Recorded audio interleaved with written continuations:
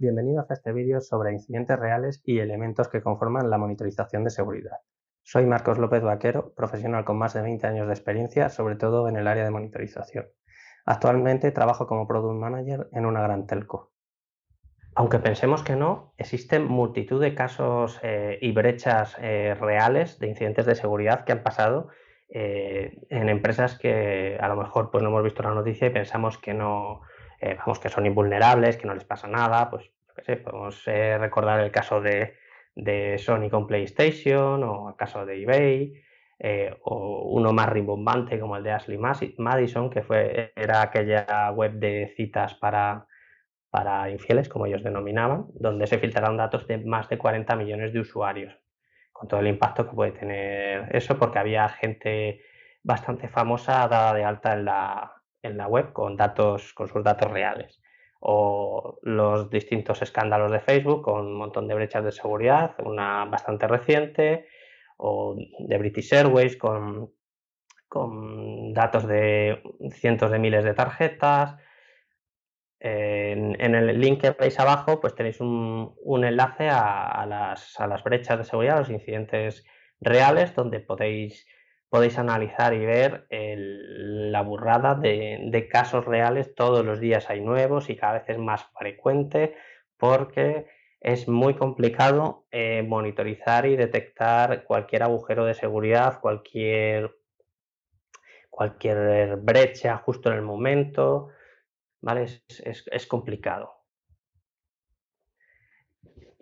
Si queremos eh, detectar lo antes posible eh, pues esos, esos ejemplos que veíamos justo en la slide anterior de casos reales, pues eh, todo empieza pues, o aprovechando una vulnerabilidad o con algún usuario que ha cogido algún privilegio que no debía, pues cuál es el elemento base que nos va a permitir eh, monitorizar esas cosas, pues un correlador, un SIEM, ¿vale? Necesitaremos más piezas, pero al menos ese debe ser el core que debe nutrirse de diferentes fuentes de datos y mediante pues una sonda que se, o n sondas que se irán desplegando a lo largo de esto normalmente en empresas, ¿vale? En casa, a no ser que sea un laboratorio, pues no aplica mucho desplegarlo, ¿vale? Pero en una empresa, sobre todo cuando tiene ahora que hay multitud de sedes, tienes la nube, tienes entornos virtualizados, etcétera, pues habrá que ir desplegando distintas sondas que lo que van a hacer es ir recogiendo los logs de los distintos dispositivos, como pueden ser los sistemas operativos, el correo electrónico, eh, los proxies, eh, multitud, cualquier cosa, un firewall, lo, que queráis, lo que os imaginéis que genera actividad, eh, pues ahí lo podéis, lo podéis conectar a la sonda. Esa sonda va a recolectar esas fuentes de datos, esos logs, lo va a procesar, le va a hacer lo que se denomina una normalización y lo va a mandar al correlador, al SIEM.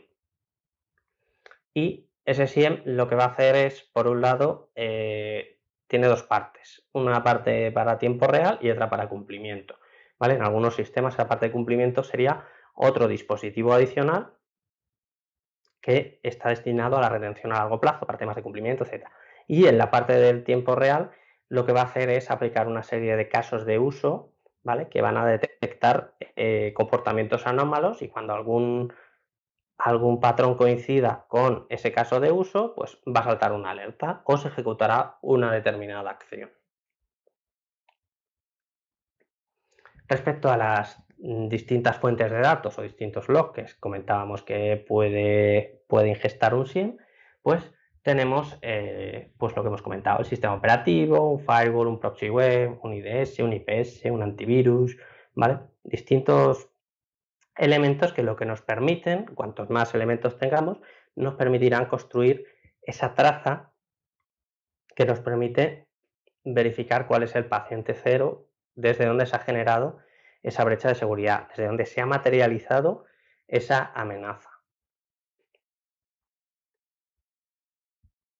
Pero como hemos comentado, no solo eh, con un SIEM nos vale, necesitamos otros elementos adicionales, ¿vale? Porque eh, el fin es detectar lo que se denomina el Cyber Kill Chain, que es las fases que sigue un atacante para eh, pues colarse dentro de, pues, dentro de una casa o dentro de una organización y crear persistencia, conectarse con su centro de control y comando y conseguir permisos eh, de administrador, ir haciendo movimientos laterales y filtrar información o, bloquear sistemas o cifrar eh, el, servidor de ficheros, etcétera, lo que le apetezca, porque tiene permisos suficientes.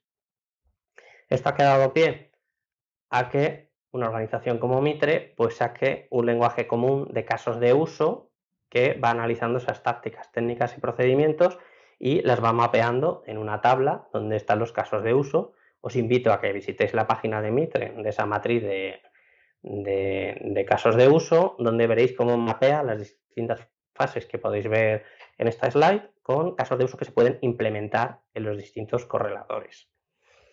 Aparte de eso, tenemos otros elementos no menos importantes que el SIEM, donde pues eh, tendremos por un lado la parte de enriquecimiento y mejorar el ratio de detección, como puede ser las plataformas de inteligencia de amenazas, que lo que hacen es eh, ingestar por un lado y suministrar por otro. Ingestan esos indicadores de compromiso que son IPs maliciosas, URL maliciosas, hashes de ficheros, etcétera, que están verificados que son maliciosas. Y lo interesante de, de esos indicadores, de esos feeds, es el, los fresquitos que están. Cuanto antes los tengamos, mucho mejor, porque además duran desde segundos a días a semanas, porque van cambiando o bien la IP del servidor remoto o, cualquier otro dato y entonces pierde su validez enseguida. Y por otro lado tenemos la parte de, de orquestación y respuesta, que es muy importante para complementar el otro lado del SIEM, justo por encima, ¿vale? Cuando van saltando alertas, tendremos lo que se denominan unos playbooks, que son un, una serie de pasos que configuran unas acciones a, realizar en función de la acción que se ha generado, que se ha disparado. Y por último, me gustaría resaltar que hay fabricantes que ofrecen eh, sus soluciones en versiones eh, free o, trial de X días o versiones reducidas, ¿vale? Como podéis ver, pues Alienbound, eh, McAfee, IBM, Splunk. Otra eh, que no aparece en la slide, pero que también podéis probar, que ha salido hace poquito. Y en la última versión tiene una pinta también bastante buena. Es Elastic, Elasticsearch, la, la parte del SIEM, ¿vale? Esa sí que es totalmente gratuita. Esta es la de Alienbol, también es gratuita de por vida. Splunk tenéis 60 días. La de IBM es la versión reducida, la Community Edition y la de McAfee es temporal también. Os, animo a que os montéis un laboratorio, que trasteéis, que es como mejor se aprende.